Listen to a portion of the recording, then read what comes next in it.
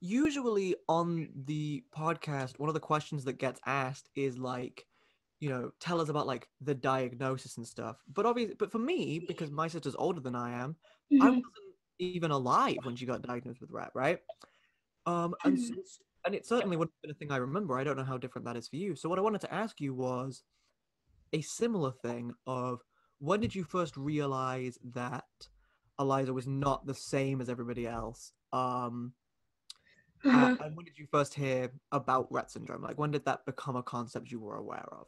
Um, well, we're, we're, we're like, um, I'm 20 months older than her, so we're quite close in age. Um, but so I didn't really hear the term Rett syndrome until I was probably around six, because I didn't, never really, like, I, I realized that she was different, but I never really thought much of it when I was younger, because she was diagnosed when she was three years old. Um, so, and I never really thought, um, like, I didn't really think about it. But then um as I got older I realized that she was um a bit di- a bit different and she was in a wheelchair and she was and she was um she was getting physio um to walk um at that um at that time. And I was I was there and I was like trying to help out and I, I was asking questions like why is she learning how to watch how uh, walk how come I can walk and she can't?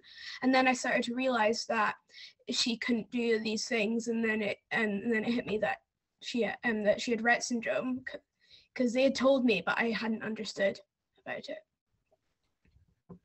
Yeah, no, I I get that. I've had the I had I had a very similar thing.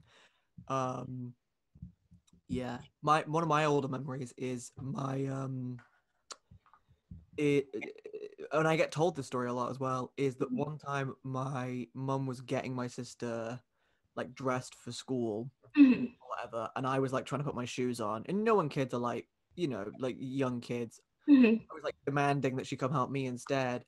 And my mum was like, I gotta help Amber. And I was like, and I, and she, my mum always describes it that my face like properly scrunched up. And I went like, why is she so, so wobbly?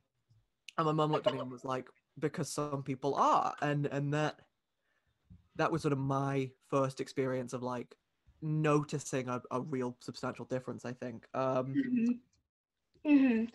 Yeah, I, I don't I don't really remember much. I just I just remember her um I I all I remember is her um like just I like sometimes she grabs um and uh, I and uh, when cuz I was cuz I was younger I I it like I was I would I would be like oh let's so no that um, that hurts and stuff like that and uh, I would get angry because I didn't I didn't know and then my parents would have to tell me that was because it's just her way of saying hello and I love you and stuff like that. yeah, I get you. You can't get a, those, um, those grabs hurt. Yeah. Like, really hurt. She Um, bit, she bit me on the arm once, like really hard.